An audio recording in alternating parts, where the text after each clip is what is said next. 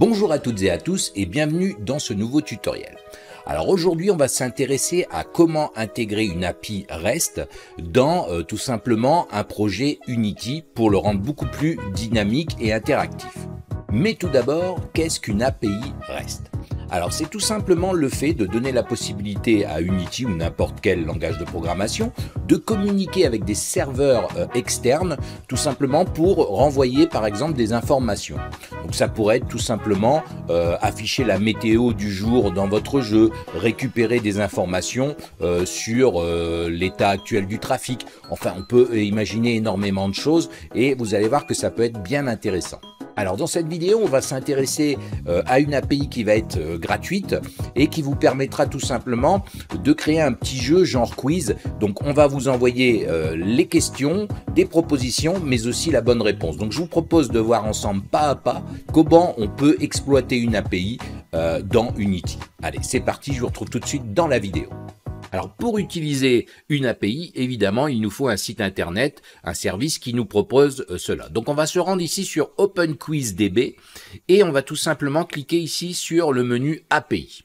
Alors, à propos, API, c'est tout simplement l'acronyme de Application Programming Interface. En fait, c'est une interface qui permet à des applications de communiquer entre elles, comme je vous l'ai déjà dit. Alors, la première chose qu'on va devoir faire lorsque vous allez utiliser des API, la plupart du temps, vous aurez besoin d'une euh, clé. Donc, ce qu'on appelle l'API Key. Alors vous allez tout simplement renseigner votre email et ici vous allez cliquer sur recevoir ma clé. Au bout de quelques instants, vous recevrez une clé et vous pourrez l'utiliser. Alors si on regarde un petit peu plus bas, on peut voir que le projet OpenQuizDB fournit une API REST JSON. Alors ça c'est important, API je viens de vous dire ce que c'était. Euh, REST c'est tout simplement, euh, c'est l'acronyme de Representational State Transfer. En fait c'est un style d'architecture pour les API web. En fait une API REST euh, utilise des méthodes HTTP comme GET, POST, PUT, DELETE pour gérer les ressources comme les données sur un serveur. Et euh, ce qui va nous intéresser aussi, c'est que on a euh, le terme JSON. Donc ça veut dire qu'en en fait, on va récupérer euh, bah, les informations sous forme ici de, de fichiers JSON, je dirais. Alors, ce qui est important de noter, c'est que vous avez la possibilité ici de créer, d'utiliser ou d'acheter une clé API. Pourquoi? Parce que, bah, évidemment, comme tout service, vous pouvez l'utiliser en gratuit, mais s'il y a une surcharge au niveau de OpenQuizDB, au niveau des serveurs, bah, vous risquez d'avoir euh, des interruptions temporaires et autres, et vous pouvez même voir qu'il se réserve le droit tout simplement d'annuler en fait euh, votre clé. Alors vous avez en dessous une documentation qui est fournie au format PDF, qui est assez intéressante et que je vous encourage à aller voir si vous voulez creuser un petit peu plus loin. Mais ici, on va s'intéresser, on va dire que vous découvrez tout ça, et on va s'intéresser ici euh, à l'API ici qui est très simple à utiliser comme vous pouvez le voir. D'ailleurs, vous pouvez voir qu'ici vous avez un exemple https et on va devoir aller euh, tout simplement sur l'URL api.openquizdb.org et là on a un formatage un peu spécial, un point d'interrogation avec le mot-clé qui égale et là vous allez devoir, vous voyez, renseigner une clé. Ici vous avez une clé exemple. Et on peut voir qu'on a une esperluette et categ égale musique.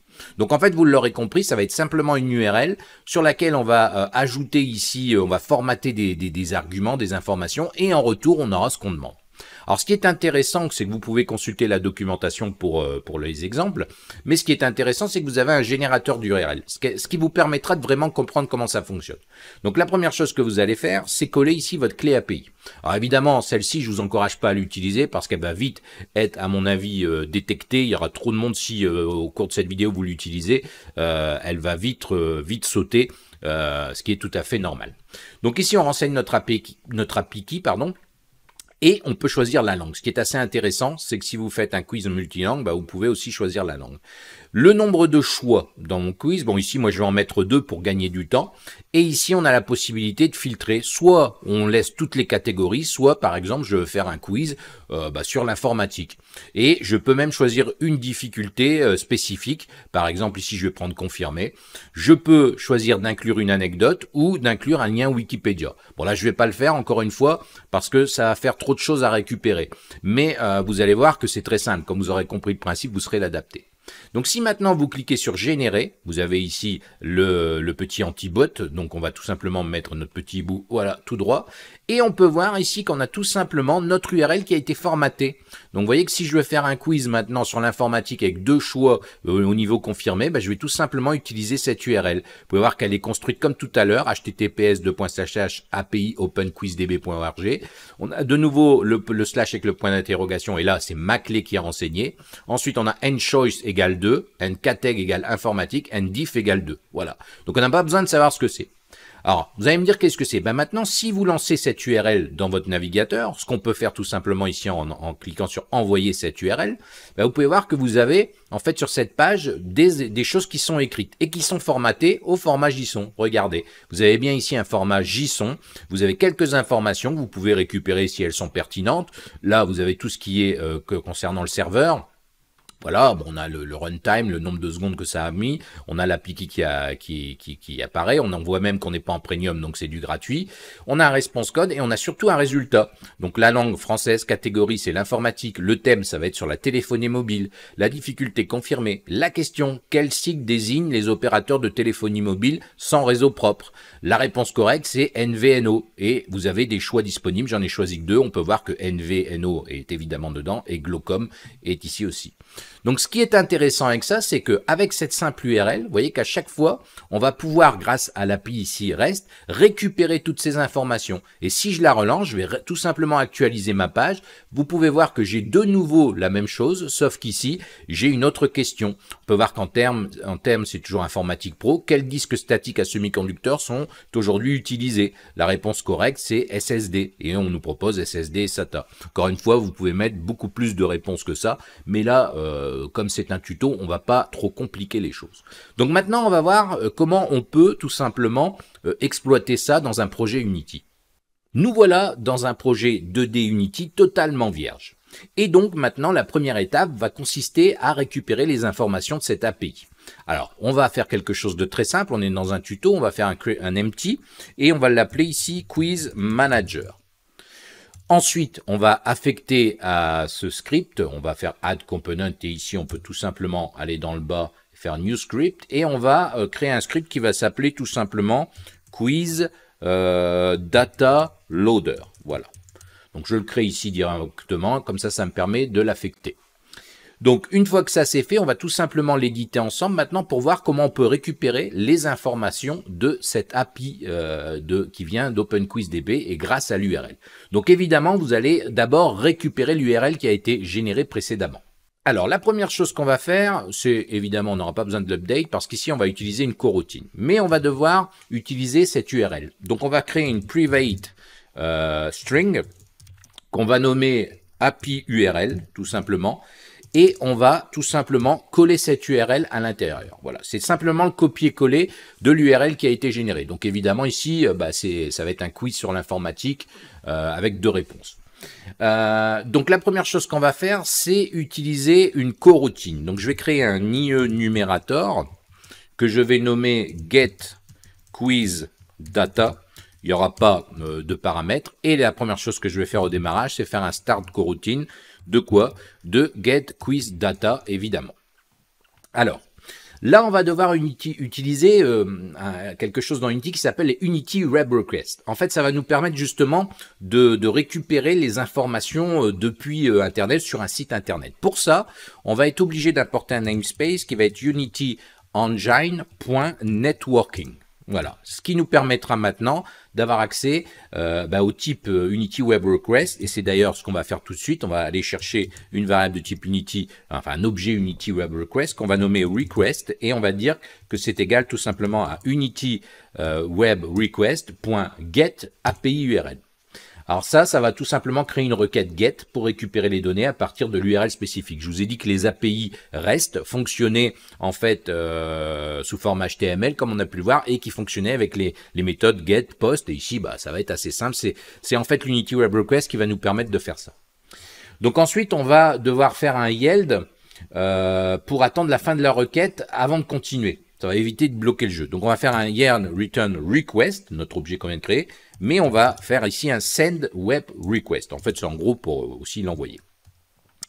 Alors une fois que c'est fait, on va vérifier maintenant si la requête échoue. À ce moment-là, on va afficher un message d'erreur. Bon, ici, dans notre cas, on va le faire rapidement. On va dire if request, point, et là, on va aller chercher result, euh, est différent de unity web request, point. Euh, alors, attendez, j'ai peut-être euh, résulte entre deux. Voilà, result success. Donc si euh, bah, tout simplement le résultat n'est pas bon, ça a échoué, bon on va pour le moment faire un simple debug.log dans la console, hein, on va pas s'embêter, euh, et on va écrire erreur, et on va mettre deux points, et pourquoi pas concaténer ça avec la request.error, ce coup-ci, ce qui nous permettra d'avoir l'erreur dans la console. Sinon, on va faire notre fameux else, c'est donc que ça a fonctionné. Bah là, on va tout simplement maintenant, euh, on va devoir récupérer en fait la, chaîne de caractères parce qu'on reçoit un format JSON. Mais si vous ne le savez pas, j'ai fait des vidéos là-dessus. Le JSON, c'est tout simplement un format texte qui est formaté. Donc, on va faire ici une string qu'on va, qu'on va nommer JSON euh, response, voilà, la réponse. Euh, et on va dire que c'est égal à request. Et là, on va aller chercher download, handler.text pour récupérer le texte tout simplement. Et pendant qu'on y est, pour voir si ça fonctionne, on va faire un debug.log dans la console euh, de bah, données euh, reçues, par exemple, ou récupérées, voilà, récupérer. Et on va mettre deux points, et là, on va mettre la JSON réponse. Aussi simple que ça. Donc là, on a fait la première étape. On va pouvoir tester, mais on va voir si maintenant, dans notre console, on a bien euh, une la chaîne au format JSON, comme on a pu le voir dans le navigateur, qui est bien récupérée dans Unity. Donc je clique sur la console, je lance le code, on laisse euh, maintenant charger le, projet, le, jeu, et on peut voir qu'on a bien ici données récupérées. En fait, on a une chaîne de caractères et on a absolument, comme on peut le voir, tout ce qu'on avait vu précédemment. C'est ici j'ai euh, la j'ai tout ça, j'ai le thème, c'est Snapchat, la difficulté, la question euh, quel était le nombre d'utilisateurs moyens par jour sur Snapchat en 2017. Bon voilà, et on a la réponse correcte, c'est 166 millions, et on a deux propositions. Donc la première étape est faite. On peut voir ici qu'on a récupéré, on a dialogué ici avec l'API et on récupère tout simplement à chaque fois qu'on va la lancer ben, une question. Regardez, je relance et j'aurai euh, une autre question comme on avait pu le voir dans le navigateur. Donc là, la première étape, je dirais, est bien effectuée. Vous pouvez voir ici, j'ai une autre question. Quelle entité informatique permet d'encapsuler une portion de, de, de, code, euh, une routine ou une variable et c'est une routine.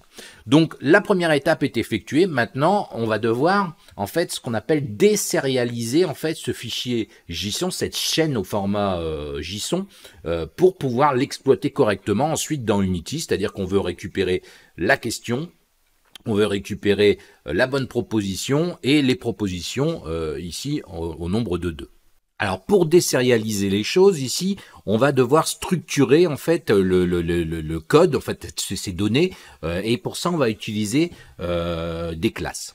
Donc je vais créer ici une classe euh, C Sharp que je vais nommer par exemple quiz result. Cette classe, bah, je vais tout simplement l'éditer et on va pas l'affecter à un objet. En fait, elle ne va pas dépendre ici du monobehavior, donc on va pouvoir supprimer ça et évidemment les méthodes, start et update n'auront aucun intérêt. Donc maintenant on va créer des champs euh, bah, qui vont nous correspondre à ce qui nous intéresse. Donc on va créer ici une public string et on va l'appeler question. Ensuite, on va créer euh, un champ pour la réponse correcte, donc public string, et ici on va l'appeler, euh, on va mettre réponse correcte, hein, on va mettre en français réponse, réponse correcte, et on va en créer une troisième qui va être tout simplement pour les choix. Donc on va l'appeler ici autre choix. Mais attention, là ça va être un tableau. Donc on va tout simplement ici l'appeler euh, autre choix, voilà, pour les choix. En fait, c'est le champ qui est nommé comme ça. On pourrait les nommer autrement, mais ça, ça va servir à ça. Alors pour que cette euh, classe soit utilisable, on va devoir ici mettre l'attribut système.serialisable juste devant. Alors pourquoi? En fait, c'est nécessaire pour que Unity puisse convertir les données au format JSON en objet C. Sans ça, euh, on va utiliser ensuite JSON Utility, ne pourra pas faire la conversion. Ensuite, on va créer une autre classe. Alors, on pourrait le faire dans un autre euh, dans un autre script, mais on va le faire ici directement. Ce sera un peu plus simple. Et là, on va l'appeler euh, quiz response. Alors, ça, ça va être les résultats. Et on va tout simplement y mettre à l'intérieur un public ici et on va prendre le type quiz result qu'on vient de créer. On va en faire un tableau et on va tout simplement l'appeler results au pluriel. Donc avec ça, on est paré et évidemment, on n'oublie pas de nouveau pour les mêmes raisons de mettre ici juste devant l'attribut système serialisable. Alors, à noter quand même que ici, euh, ces classes sont très importantes parce que ici, euh, question et réponse correcte et autre choix correspondent exactement au champ en fait de notre fichier JSON. Si on reprend ici dans le navigateur ce qui est renvoyé, on peut voir qu'on a bien ici question, qui est tout simplement le champ.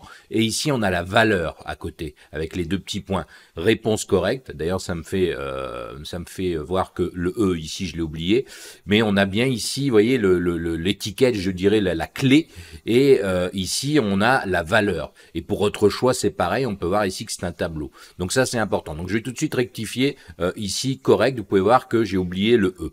Donc je vais tout simplement ici me mettre un E. Voilà.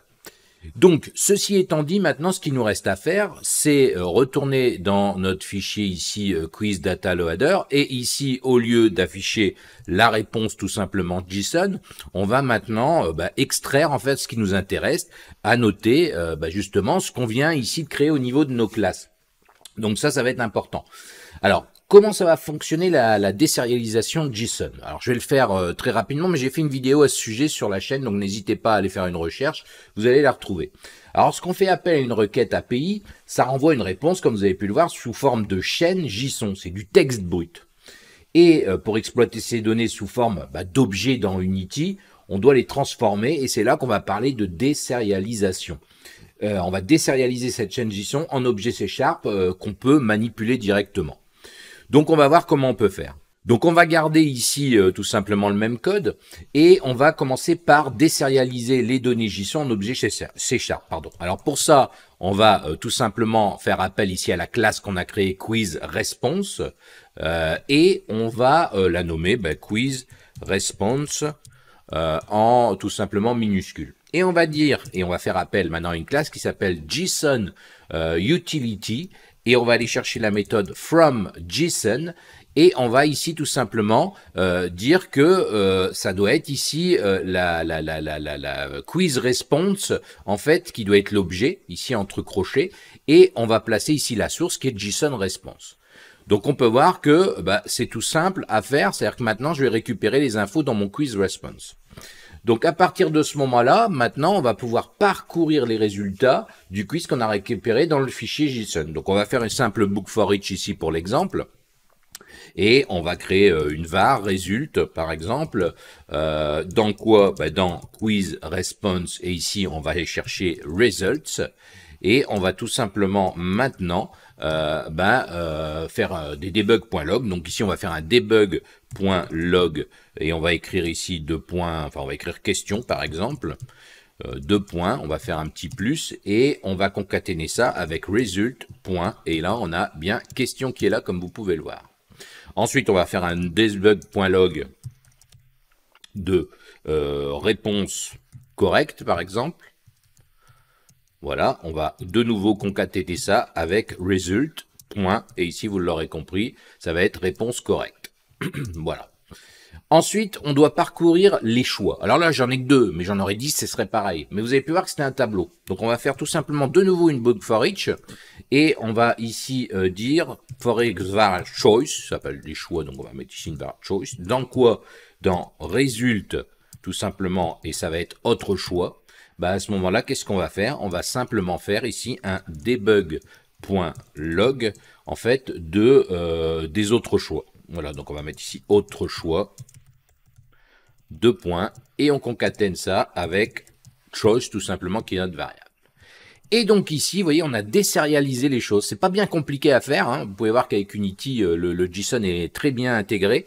Et donc, bah maintenant, on a extrait en fait ce qui nous intéressait. Alors évidemment, vous pouvez extraire d'autres choses. Vous l'aurez compris que si vous voulez d'autres champs, récupérer d'autres champs, vous les rentrez ici dans la classe quiz result et c'est tout ce que vous avez à faire et vous avez plus qu'à les traiter ici euh, dans euh, la désérialisation. Alors maintenant, on va retourner dans Unity, on va tester tout ça. Alors pour le coup, je vais mettre ma console ici pour qu'on voit un petit peu mieux.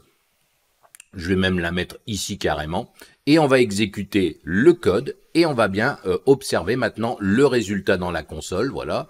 J'ai bien ici question quel langage créé en 1987 euh, par Larry Wall traite de l'information textuelle et la réponse est Perl et vous avez en choix Perl et PHP. Évidemment, dans un quiz, vous allez en traiter plus, mais là, vous avez compris que je voulais tout simplement en traiter euh, que deux euh, pour que ce soit un peu plus simple. Alors, le gros intérêt, c'est qu'à chaque fois que maintenant vous allez faire appel à ce code, bah, vous pouvez voir que vous aurez tout simplement une réponse, enfin des questions et des réponses différentes. Voilà différentes. Et donc ça, c'est vraiment le gros intérêt, je dirais, euh, d'utiliser ici les API REST, comme vous pouvez le voir, et notamment, comme vous pouvez euh, l'observer avec OpenQuizDB, qui est vraiment un service qui est simple à utiliser. Bon, voilà, cette vidéo est déjà assez longue. Je vous ai montré comment exploiter euh, une API euh, REST. Je vous encourage vraiment à aller voir un petit peu plus loin si ça vous intéresse. Évidemment, ici, je m'arrête là. Je vais pas construire le quiz avec vous. Bon, si vous voulez que je le fasse, pourquoi pas? N'hésitez pas à me le mettre en commentaire. Je pourrais faire une seconde vidéo qui construit l'interface et la logique du jeu très brièvement. Mais euh, c'est pas ce qu'il y a de plus compliqué à faire si ici vous êtes assez à l'aise avec Unity. Alors pour ceux qui seraient débutants, pourquoi pas, si ça vous intéresse, n'hésitez pas à me mettre un petit message, auquel cas je ferai une suite à cette vidéo et j'y intégrerai tout simplement euh, la création euh, bah, de l'interface et de la logique du jeu. Donc voilà, j'espère que cette vidéo vous aura plu. N'hésitez pas à mettre un gros pouce bleu, euh, à vous abonner à la chaîne si ce n'est pas déjà fait. Et puis, euh, si vous voulez aller plus loin, apprendre des choses avec Unity, je vous mets un lien sous la vidéo à tarif préférentiel pour ma formation, le guide complet Unity, qui fait plus de 80 heures, qui vraiment euh, permet aux débutants comme aux confirmés d'apprendre plein de choses et d'apprendre les choses progressivement. Et je vous dis à bientôt pour une prochaine vidéo.